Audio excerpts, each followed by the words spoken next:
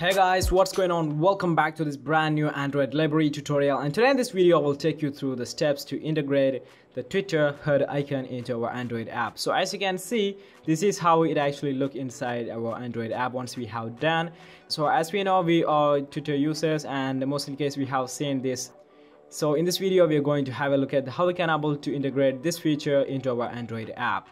So now you can see inside this like button library which is hosted inside the github we have a feature that we can able to use the star icon this heart icon and also the thumbs up icon. And this library offer a custom icon which we can able to customize it according to our preference.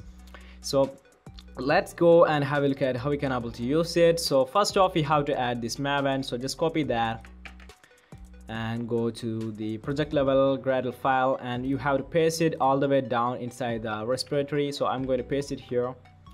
Now going back and just copying this copying it and going to this app level Gradle file and I'm going to paste it here. So just adding the implementation space and pasting it here then clicking on the sync now.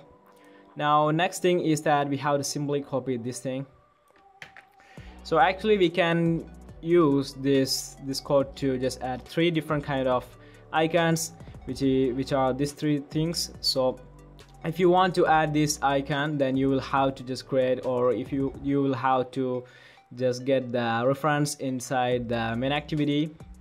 So in this video we are going to use these three things and just in case if you want to just add this fourth one then you can also go through the steps that have that has been shown here.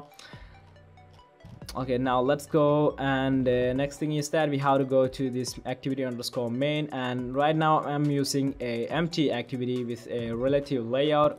So the next thing is that I'm going to create a linear layout so that I can able to add this icon in an adjacent manner. Okay so now I have created a linear layout. And as you can see this is how it actually look now just in case if you want then you can simply pause this video and copy all these codes. Now what I'm going to do is that I'm going to paste the thing that we just copied from this website which is this thing. Just right click copy going back to Android Studio pasting it here. And the next thing is that we have to copy or we can just replace the same thing. And in, and in each time we have to replace this type with the one that is shown here so let's go and yeah you can see we have the heart then thumbs up or thumbs down. Yeah it's thumbs up and then a star. So this time we have to replace this heart with thumbs. Also just in case if you want to add the reference then you will have to use a unique ID and finally we have to paste it again. And this time the heart into star. The preview is actually not shown here, but if you're trying to run this app, then you'll be definitely finding the preview. So if you want to go more advanced level and if you want to just make sure each of the item is clicked or if each of the icon is checked or not, then you can add the reference through the ID inside the main activity and by that you, you will getting every single thing like liker then unliker so there is a event listener and you can also do things like this. And uh, you can also go to the app then go to this src java and main activity.java and you will find everything that you actually you can able to do using this library. So i would say that that's pretty much easy and uh, just in case if you want to do that you can see here is a method that uses the custom icon which we have seen at the fourth one that is the custom icon then you can do through just by using this main activity class file. So this is the custom one.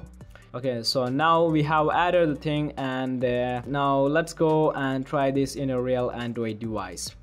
Okay guys so we have the android app in the android device and we have three different previews and uh, what i'm going to do is that i'm going to select the first one and blam you can see and there is a small animation and I'm going to select the second one. And now the third one. Now this time I'm going to press it again to uncheck it.